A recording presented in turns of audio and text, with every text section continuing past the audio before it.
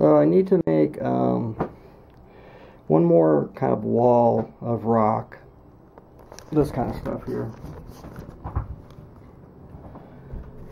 But I need a piece because I need I have like maybe one or two shots that are going to shoot this way past the puppet's head and be shooting out this direction. So I need to cover, I need like a movable wall that I can just kind of screw in and then take back out. So I got a sheet of OSB. Um, I don't know what this is. It's probably like a foot and a half by four feet or something. And I'm just going to use this. This is the stuff I use for um, for the rock texture. It's called lightweight joint compound. It's also called hot mud. The stuff that's called hot mud actually comes in. It's basically like a, you know what they do seams yeah, that train's loud, but they, they do seams and stuff for, for drywall with this stuff. Um, they come in like different times. This is like 20 minutes, so they call this 20 minute mud. And what that means is it sets up in uh, 20 minutes. You can get it in, I think there's like 40 minutes, like 10 minutes, and it just, it's basically like the work time. It's like how long you got to work this stuff. You can also just use normal joint compound, but that would take, you know, a couple hours to set up. And uh, I want to go a little faster than that. Alright so then I got a pan just kind of a metal pan. And like a uh, putty knife kind of deal here. I think that's about four inches.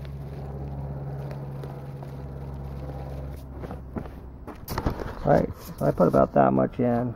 Just put as much in as you think you can get through in like 20 minutes because after 20 minutes the stuff will start setting up and then you won't be able to do anything with it. So you know if you're down to the bottom of the pan by then it's just easier to clean it up if you you know your pan's about empty. Just put a little cold water in there. You want to go a little less and then add to it as you go. And just kind of slowly stir it up with your knife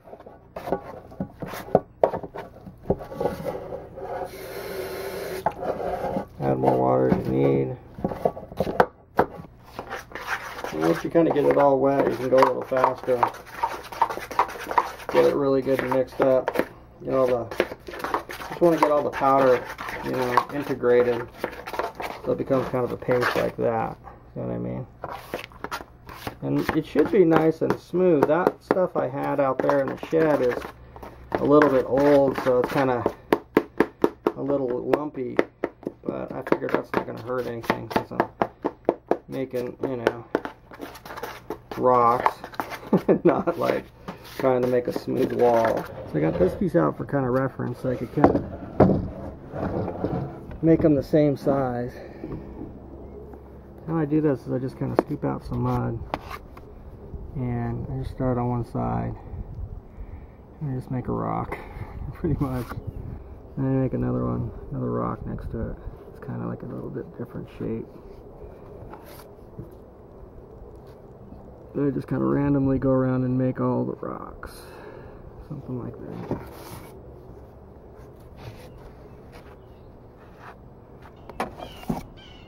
And then I just go around the whole thing doing that. Randomly putting in rocks where I think they should go. See, I got a couple lumps there that big old sucker. That'll probably make a good rock right there though. And it's probably a little better, and it's probably actually a little better to be a little bit more rough, be a little more lumpy. Because then when I get this whole thing down, I just kind of give it a quick sand over. And it's sort of like that weathered rock look. So I'm just going to keep on going, finish this up.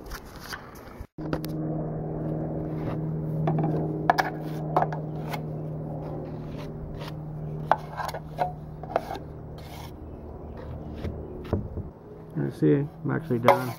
Just got that little bit left. Now I needed to just go ahead and make some more. Go, go again. got about halfway across the table with that much.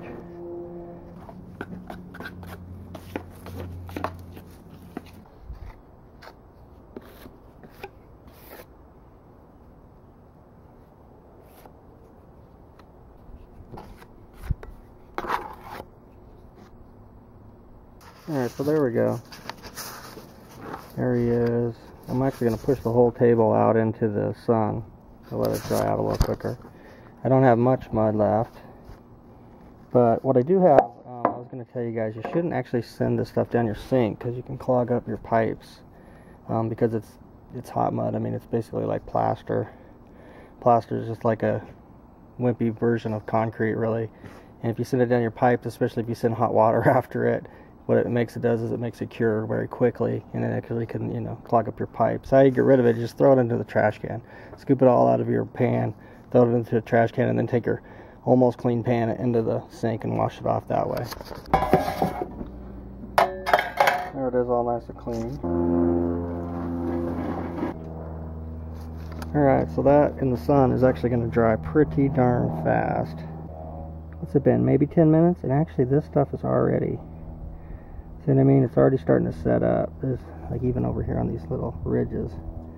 This stuff is pretty hard already. But the thing about this mud is it's a 20 minute setup time. It's not a 20 minute like cure time. It still takes it a couple hours to really get enough cured out enough to be sandable and stuff. So, so in the set here where it stands now, I actually have um, some rocks that I need to paint. This thing, you know, this is just like a board since I had to pull this off, I lost a lot of the rocks. And then I just glued them back on. I think they look fine. So I'm going to paint this stuff while I paint that thing out there. So since I got to wait for a while, I'm going to actually put up the rafters that are sitting right there.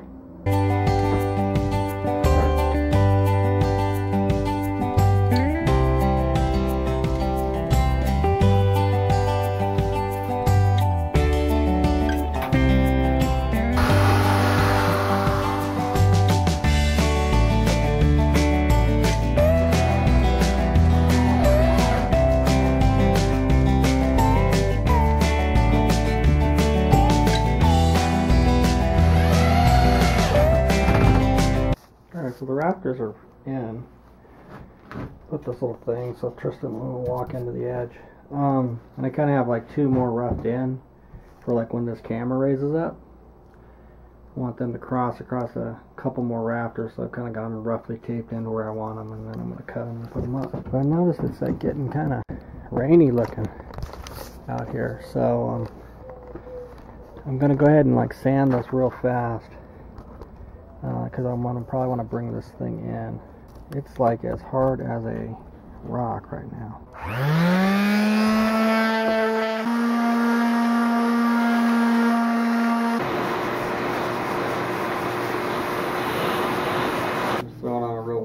Black like usual.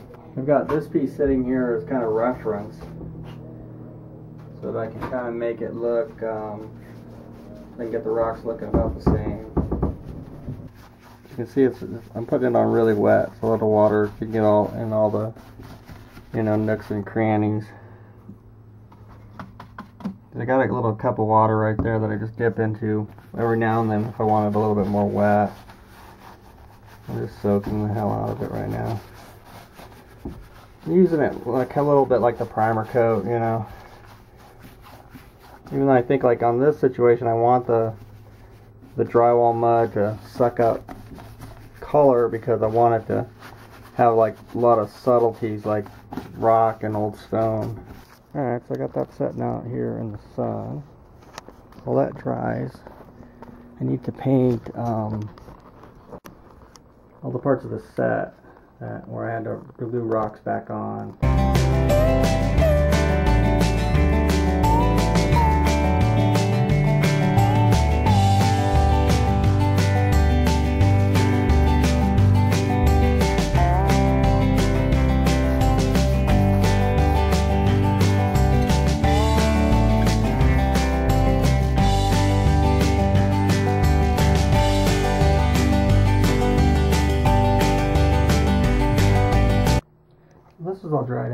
kind of see it. That's the rock that's painted good, and that's the stuff I painted. And I got to get this stuff looking like that. And I think, it's been a long time since I painted this, but I think what this was was actually just white and black. I think it's pretty much a gray, even though it looks a little blue. I think it's just sort of the, I think it's just kind of the way, that the qualities that the paint took on um, from just being painted on the drywall mud. I brought in the big board and I got my kind of reference piece. I'm going to try to paint a little bit on the corner, match it up before I paint the whole thing. So I mixed up a little bit of black and a little bit of white. I just made it kind of a gray. Alright, let's test a little bit. See, it's a little, it's a little too blue still. I need some more red in there. That, oh actually yeah, that's it. That's real close. Right there. There's like a significant amount of red in there. So I actually put two pretty good squirts in. Well, not really dry brushing, but I, kind of am. Just uh, kind of hitting the high parts, though. That's the main thing I'm kind of focused on. And I'm taking my my rag and just kind of wiping it, messing up that nice, smooth looking coat. What I mean?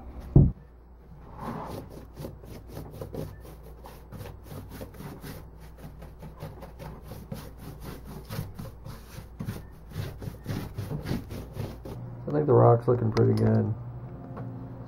Still a little different. Um, mix up a little bit of that same color with some white in it. Go over parts of it one more time, and I think that'll be plenty. And that's actually some gesso right there. I went and bought a tube of white paint, and then uh, left it in the car this morning. And when uh, Tristan went to school, I took it with him. So I of just uh, use whatever white I got, and that's what I got. So. Some splatter also. Just gives the rock more of a grainy feel.